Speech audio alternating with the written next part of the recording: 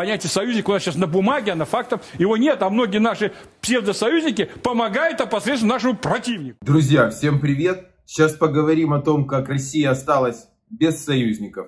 На дипломатическом фронте у них, э, знаете, на западном фронте без перемен. У них не то, что полностью беспеременные, никаких э, движений, никаких союзников, всех растеряли. И поэтому вот в такой ситуации, знаете, где они начали искать союзников?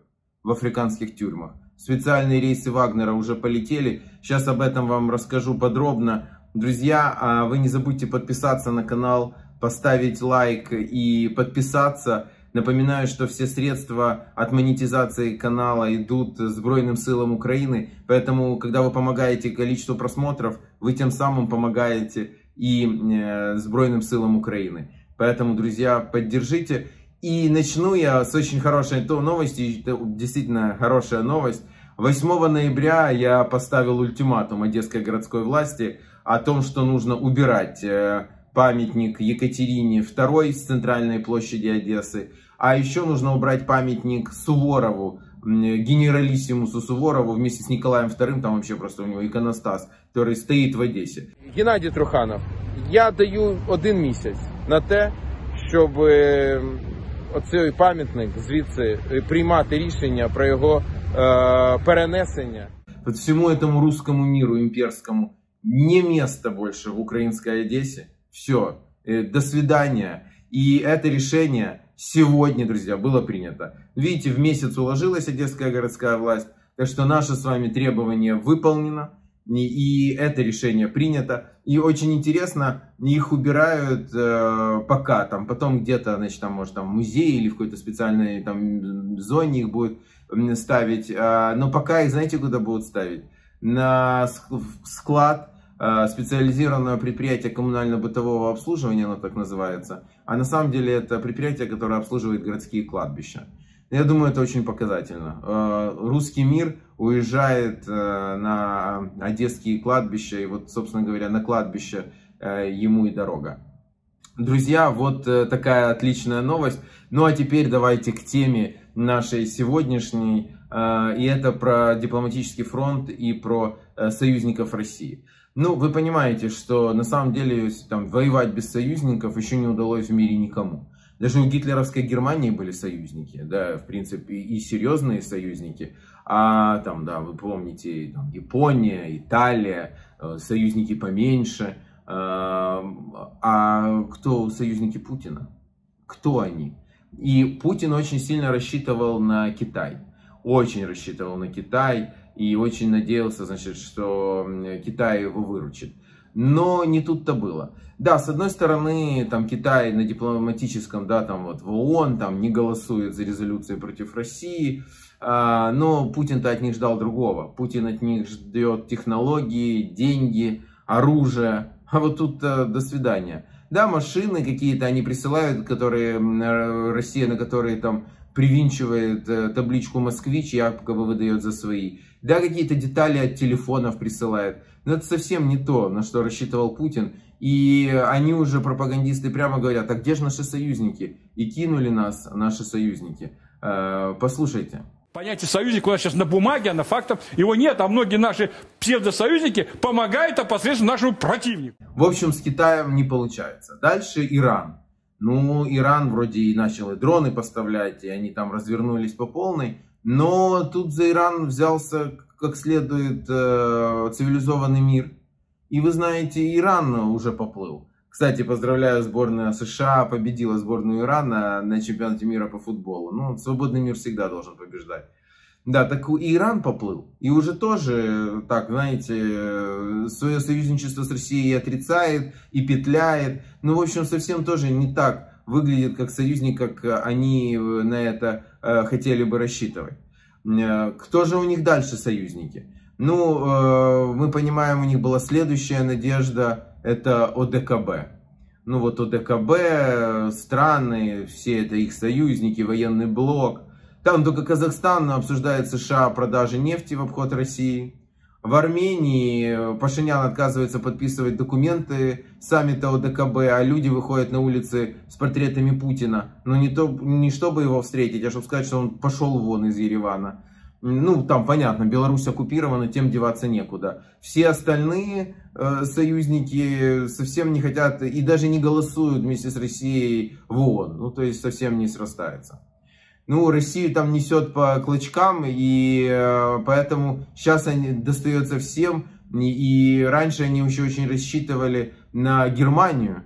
Ну, это действительно серьезная страна, э, влиятельная, богатая. Но только все развалилось полностью. Полностью все развалилось у них э, по направлению Германии. И Штанмайер, который, помните, формула Штанмайера, за которую так билась Россия, то есть считала его своим союзником. Сегодня формула Штанмайера очень проста. Штанмайер прямо выступает и говорит, никаких перемирий с Россией, пока они не освободят все украинские территории. Потому что сегодня прекратить огонь, это значит э, оставить Путину какой-то кусок украинской территории. Нет, так нельзя, нам такое не подходит, это э, такого быть не должно.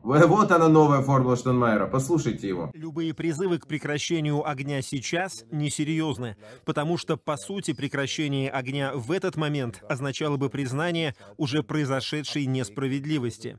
Прекращение огня сейчас будет означать, что Россия оставит себе оккупированную территорию. Это означает, что нарушены границы, попирается международное право и происходит захват земель, что все это будет разрешено. И это не может быть целью прекращения огня. Поэтому, к сожалению, должен сказать, что на данный момент я не вижу выхода. Ну и, конечно, на это ну, просто истерическая реакция э, российских пропагандистов. И снова выходит соловьиный помет – и снова демонстрирует свои актерские способности, передразнивать Штанмайера. И снова вот это вот из себя как бы пытается показать какого-то германского нациста. Послушайте, посмотрите на это. Это говорит э, Штанмайер, который президент Deutschland. Ja, Steinmeier. Und der deutschen Steinmeier Präsidentischen die Reichs. Соловей, ты российский нацист. Это все смотрится, ваш цирк, смешно. Вы на что-то намекаете на Вторую мировую войну? Так после нее Германия прошла денацификацию и стала уважаемой страной. А вы остались, вы последние нацисты мира. Тогда сталинский режим ну, такой же был преступный, как гитлеровский. А сегодня вы им и остались. Вы последние нацисты, кого ты еще передразниваешь. Так что с Германией тоже все плохо. Ну, следующий них, друзья, это Папа Римский.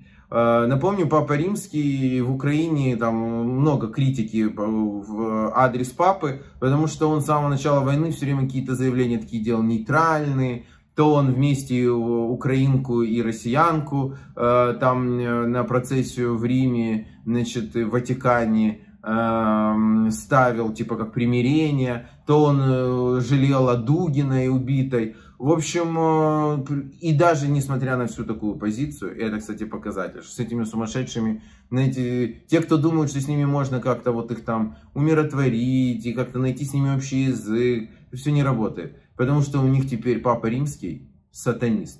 Они так и говорят. А почему? А потому что он сказал, что значит, жестокость э, по отношению к украинцам, и он сказал, что вот ее особенно проявляют чеченцы и буряты. Это удивительно. Во-первых, мне эти слова Папы Римского тоже не понравились, потому что на самом деле жестокость самих русских там зашкаливающая. И мы видели, кто резал, убивал в Буче, и э, там далеко не только э, буряты, о которых говорит Папа Римский, а там э, и, и других, и Мариуполь кто уничтожал. Поэтому тут, знаете, нет каких-то отдельных плохих наций, это точно. Но э, Папа Римский же пытался как раз даже выгородить русских. Что, типа русские, вот они еще не так плохие, а то вот преступления делают, значит, чеченцы и буряты. Но вот это, это не понравилось там Рамзану, Дондону, Кадырову. Значит, а он, ох, э, конечно, если что-то не нравится Дондону, значит, все российские пропагандисты должны кидаться на амбразуру. Там уже, знаете, он реально, там он с Пригожиным уже больше рулит,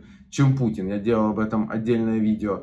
Ну и, в общем, они устроили крик, э, что раз такое сказал Папа Римский, э, то, значит, э, он сатанист. И говорит это никто иной, как наркоман Игорь Марков, которого я хорошо знаю, которого в Одессе еще в 10 лет назад, в 2012 году побеждал, а ему тогда Янукович организовывал победу, украли мои голоса, чтобы сделать Маркова народным депутатом. В общем, теперь этот в Москве и рассказывает, что Папа Римский сатанист. Послушайте. Сегодня правильно, вот там я слышал заявление командира чеченского спецназа, он абсолютно правильно сказал, что Папа Римский это чистой воды сатанист. Он еще, он еще что-то комментирует. Вы знаете, он рассказывает про то, что э, жестокость э, э, там чеченцев и бурятов, он, по-моему, мужество и героизм наших солдатов, это в их понимании, это жестокость, наверное.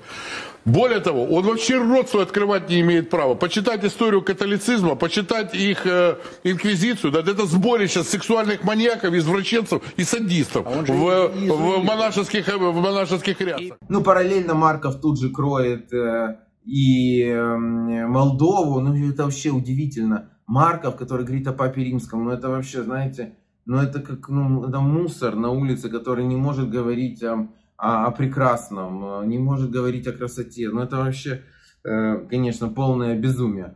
Э, в общем, ну и Молдова у них тоже плохая. Тут качали, качали эту Молдову, ничего не получается. Значит, моя Санда у них тоже не такая. Послушайте еще Маркова. Например, та же Молдавия. Посмотри, как действует ее так называемый президент. Посмотрите, какие там события разворачиваются. У меня создается полное впечатление, что она делает все для того, чтобы стать для нас кэшбэком за Украину. Понимаете? Потому что, ну, посмотрите, что, что, к чему она призывает. В общем, нет у них никаких союзников. Все плохие вокруг, все страны не такие. И поэтому, друзья, союзников они себе нашли. Где? Африка, Центральноафриканская республика, тюрьмы. Появилась информация о том, что Вагнер набирает себе новое мясо, уже российских тюрем не хватает, и поехал он в тюрьмы африканские. И собирает там преступников, террористов, которые сидят там, что в Центральноафриканской республике там реальные в тюрьмах есть просто, ну, военные преступники. Ну и вот они как раз отлично, военные преступники и террористы, это как раз те же, кто и есть Вагнер. Вагнер подумал, так они же такие, как мы. Отлично, Пригожин говорит, я полетел за своими ребятами. В общем, представляете, до чего скатилась эта Российская империя, что сегодня она ищет, кто будет за них воевать в африканских тюрьмах и привезет э, из Африки каких-то военных преступников, которые снега-то, наверное, не видели в жизни, и в минус 10 кинет их там на Донбасс, э, на Бахмут или еще где-то. Э, ну, что они там, сколько они проживут часов, я не знаю. Но вот это сегодня Российская империя. Союзники ее. Э, помните, когда-то есть такое, там, один из российских императоров сказал, что у России есть только два союзника. Ее армия и военно-морской флот. Они очень любят эту фразу. Ну вот у них так это, э, друзья, и сложилось, что у них есть только два союзника. Только теперь у них не армия и военно-морской флот, а у них теперь есть только один, друзья, союзник. Это э, военные преступники из африканских тюрем. Ну, представьте себе, вот до чего дошла Российская империя, что уже ни армии своей нет, ни союзников нет, ничего нет. А есть только вот этот э, повар Путина, э, Пригожин и Кадыров, Чефир вдвоем, которые теперь собирают э, зеков и преступников в Россию со всего мира. Друзья, вот она реальность. Ну а ответом на это понятно. Вагнер нужно признавать террористической организацией. Вот и Путин это террорист номер один, и Пригожин вместе с ним. Я сейчас в США, как раз мы здесь об этом говорим. И я надеюсь, что в США будет принято решение о признании группировки Вагнер террористической организацией. Это важное решение. Оно еще и будет шагом к последующему, я надеюсь, признанию и России страной-спонсором терроризма. Так что пока у них союзников нет, мы продолжаем работать. Я к вам записываю это видео в Вашингтоне. У меня сегодня очень много встреч. Вчера встречался с американскими сенаторами, с конгрессменами, с think tank. В общем, мы работаем активно. Э, друзья, и победа, конечно, будет за нами. Держим строй!